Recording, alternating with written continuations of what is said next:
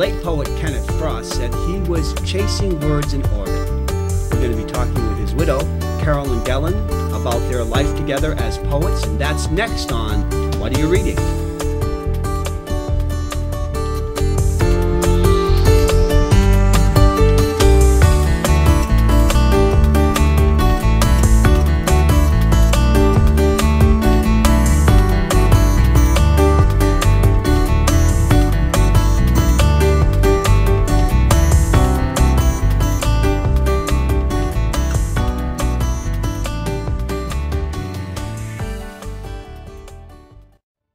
Welcome to What Are You Reading? We are the celebrity talk show where the books are the celebrities. And with me uh, for this program is Carolyn Gelland, a poet from uh, Wilton, Maine. Welcome to What Are You Reading? Thank you, Bill. And uh, tell us a little bit about how you and Kenneth came to Maine. It's a great story. Kenneth and I loved living in New York City. We were lifetime New York City dwellers. Kenneth had taught at Columbia University in the New School. My sister and I were running a small art gallery on West 67th Street. Um, and we were so very happy there. But at a certain point, when our books started piling up and the apartment got too small for all our books, and we thought of a solitude in which we could read and write, we thought of Maine. And um, after reading an article about blueberry pickers in That's Western right. You said it was a newspaper article Yes. about blueberry picking in Maine, and that was the turning point. It was That's the what got you point. here. I came up on the plane and looked at two houses. We selected one. We moved up. And after six months of living uh, in that house, the ice storm of uh, 1998 occurred, and we had a house fire, and 2,000 books burned, all our city closed, and um, we uh, had to move to another house in Wilton, and we're so happy there. And it turned out to be the best move we had ever made. It was very productive to um, read and write in um, the solitude that Maine provides. Well, I think that's why a lot of artists come to Maine. You have a chance to focus. It's a quieter, it's a quieter place. Um, although I guess you can be inspired anywhere, even you know in uh. Midtown Manhattan. oh, yes. But let's back up a little bit and talk a little bit about your life as a poet. What uh, attracted you to poetry?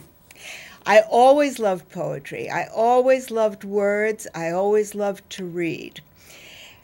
Um, I I wrote some poems in school, and I won the first prize in the New York City High School poetry wow. contest, and um, kept on reading and writing. And then when I met Kenneth, who was teaching and very brilliant, um, he he focused me on um, my work and how to develop it uh, in a very gentle, uh, fun way. He made it very pleasant for me to learn all that he had to teach me. Uh, and so um, I learned how to uh, read and critique his poems, and he read mine, and so we worked together. So you had a life, a life together of poetry, yes, we did. Mhm. and particularly when you moved to Maine. Oh, yes, Mm-hmm. yes. What would be the difference between Kenneth's writing and your writing? Did you have similar interests, or did you have uh, diverse uh, uh, uh, interests? We had very similar interests. We um, we had a deep interest in literature in general, in uh, religion, philosophy, history, painting, music. We had a very wide uh, spectrum of interests. And then when you sit down to write a poem, you kind of put them to, you forget them, you forget all the craft that you've learned, and you focus on something very deep that wants to be said that Mm-hmm. turns out to be a surprise to you as well. Mm-hmm. Um, it can be triggered by a word um, or a phrase. Uh, Kenneth would sit at his desk and perhaps look at the chickadee, and and that would be something. But then it could be something much more mysterious too. Now, when you're creating a poem, uh, how do you know when you have the finished product? When you're saying you're looking for the, something that's very deep that's going to come out, when do you know that it's finally arrived in its final form? That's a very wonderful question because um, when when Kenneth and I were writing, uh, I would be upstairs and he would be at his desk downstairs, and I would come down at four o'clock feeling that perhaps I had exceeded myself, that I was really. Uh, um, taking a giant step forward. And um, it didn't always work out that way. We were um, very honest with each other, but kind. Yes. Um, and um, you let a poem sit for a while. You might try it out on a few friends. And uh, over time, you learn whether it has whether it's clicked together like a Chinese box, uh, and if it has its life in it. Um, and uh, you may see that a revision is called for, um, or that you want to discard it, or that you really believe in it. Now, uh, Kenneth's book of poems, one of his books, is Time on Its Own. Yes, that one just came out Yes. end of October. Okay. Uh, tell me a little bit about uh, what I, if I'm going to sit down and, and, and look through that. What, what, what kind of poems am I going to run into?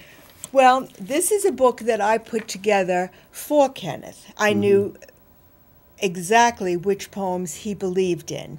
Um, and so um, I put this together. Uh, there are poems in here. Um, we start off with A Ferry in the Sunset. And then we go on to a narwhal, a poem about a figure skater, which I'll read to you later, two tarantulas, uh, Dreamer, which was about a turkey vulture uh, that he was looking at. So he pretty much, you would both draw upon what was around you. Yes, we did.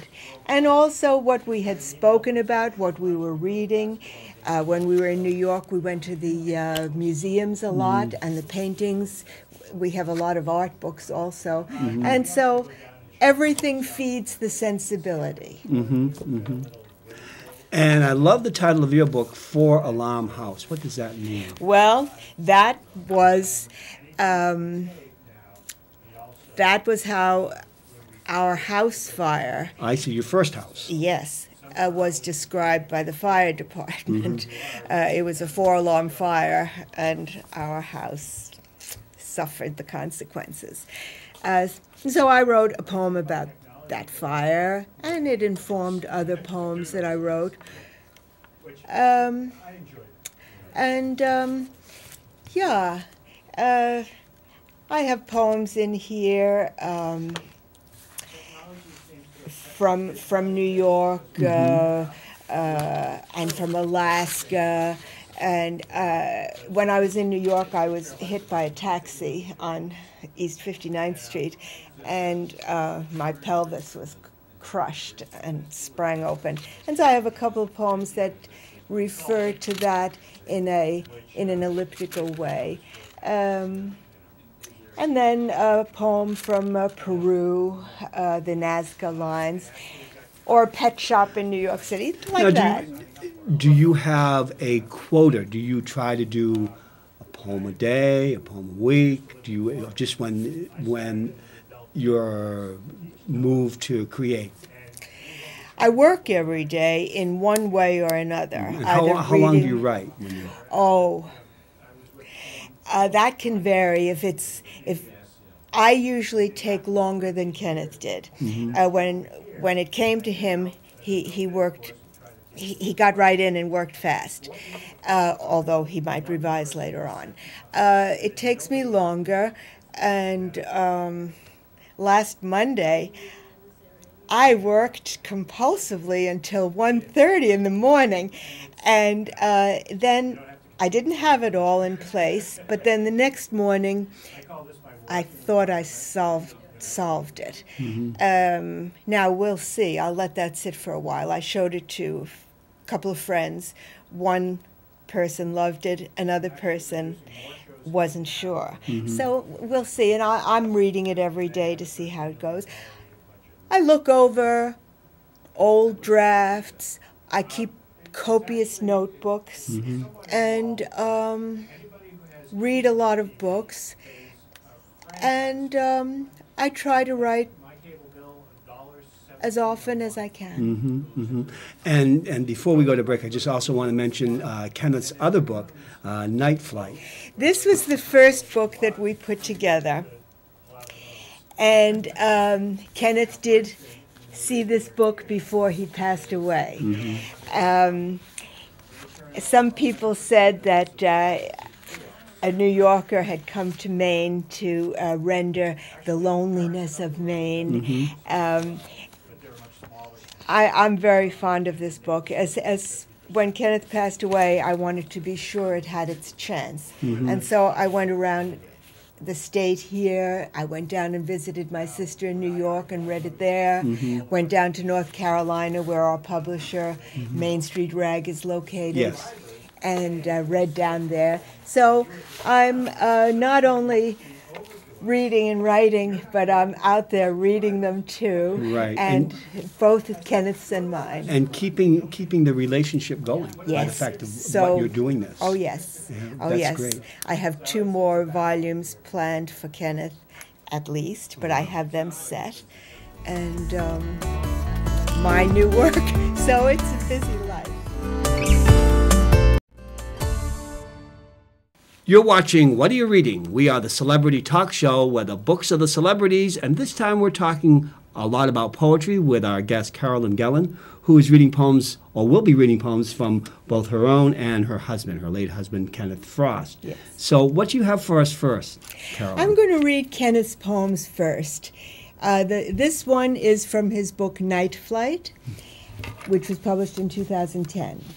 Coring the Moon. The full moon has a hole in it, right in the center. If you look closely, you can see a long tunnel and dark creatures traveling through it. Then they drop out of sight. Do they fall into a trap, a black hole, or nothing? Coyotes run in circles, mad for the nothing of the moon. They try on their ghosts in the moon's dressing room. Owls become raucous and tear their spirits limb from limb. The whole passes with a long howl, and men and raccoons and deer come out of the woods, moonstruck.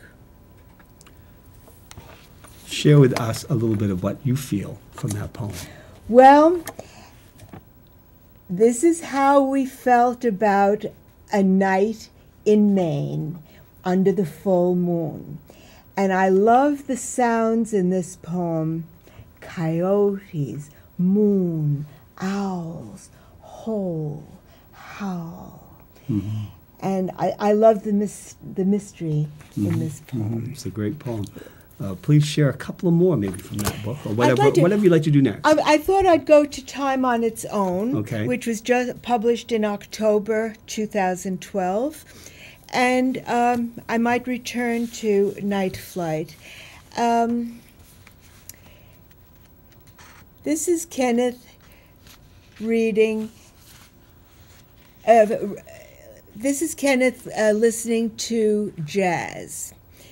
Um, he had an uncanny way of uh, rendering um, the nuances of an experience like listening to, say, Sidney Bechet or Charlie Parker. Mm-hmm. I could almost hear, say, Lady Day in this poem. He floats out in the hollow notes of the wind instrument till the rooms around him wander, and a strange tree of dreams takes root on every windowsill. Very nice. I, I love it too. Kenneth's poems are very, uh, many are very brief. Yes, they are. I'll read one that's a little longer, The Figure Skater. But uh, yes, he liked to get to the pith of it uh, and not to have any extra mm-hmm. words at all. Mm-hmm. This one's about me. Suddenly, there you are in the electric eternity of a dream. Who shall I tell them you are with your long hair embodied light? And I'll read the figure skater.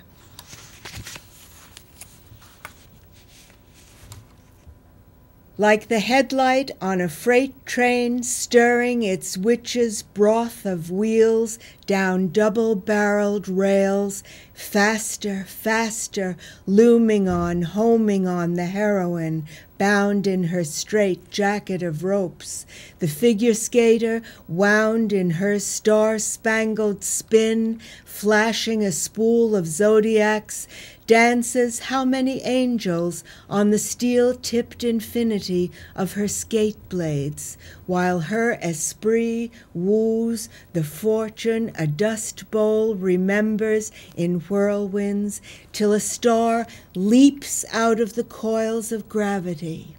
Escapading on the mirror's altar, she swings into exploding mercury that bends and scatters apparitions just holding on to Godspeed with the rich glaze of her smile. There certainly is a lot of energy, a lot of yes. kinetic energy yes. uh, in that poem. And the form and pace of that poem render the speed and the star spangled spin of the figure skater mm-hmm. and the words her esprit and that she's escapading on the mirror's altar, mm-hmm. holding on mm-hmm. to God's speed.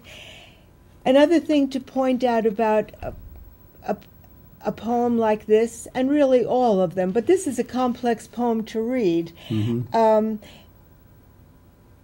Kenneth's poems are dense, but they're they're easy to read because his metrics are very secure. Mm-hmm. And so mm-hmm. I can be carried along on his metrics even as I have to concentrate hard on all the But it words. makes the ride enjoyable. Yes. It makes the ride enjoyable. Yes, so it's it a good does. it's a you know poetry is such a, a work of wordsmith of wordsmithing. Yes, it is. Okay. Well, let's hear some of yours. I have a poem here called Duet with Gabriel uh, for Louis Armstrong. And well, that's Ken- a good follow up to the jazz one we heard just a little while ago. Well, Kenneth told me these two stories about Louis Armstrong. That when he was playing a, a, a, command performance for the King of England, he gestured up to the royal box. This one's for you, Rex. And uh, later on, touchingly, when he got old and sick, and um, the doctor told him that he shouldn't play his mm. horn anymore. He said, I got to play my horn, Doc. When I die, I'm going to play a duet with Gabriel. Mm. He loves his horn the way I do. Mm-hmm. A man has got to have something he can die for. Mm-hmm. Mm-hmm. And so I wrote a poem about that. He finds the rhythm, a grape seed dancing in a glass of champagne. He plays a duet with Gabriel. This one's for you, Rex. Exaltation of the air, sunshine ransacks shining ground. Each note gets rich on the next. Mm, very nice. And I have another one here. Forgotten. The bones of the dead sparkle deeper and deeper into darkness. Sometimes a sleeper rises, bones clothed in a sort of lantern, and stands at the edge of life. Very nice, delicate uh, poetry. Thank you. Nice. Thank you. Um, And again, this book is this is from your book uh, Four, Four Alarm House. Yes. Okay. uh, which came out uh, in February of 2012. Mm-hmm. One of my favorite poets is the German poet Friedrich Hölderlin, whose dates were 1770 to 1843. He said he was struck by Apollo, and I believe him.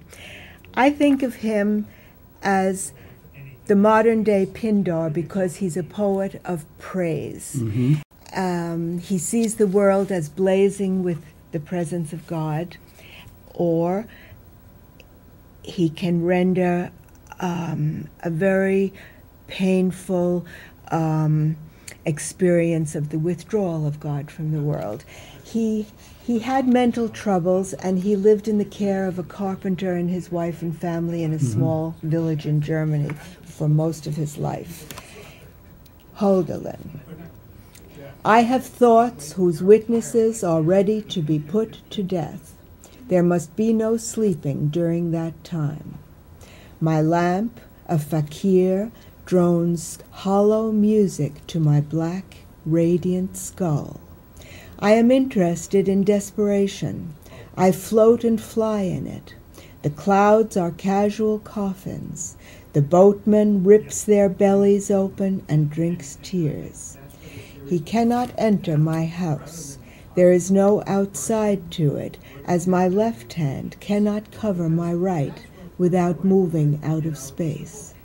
I am inside listening. The song in the wind changes its tone in every tree.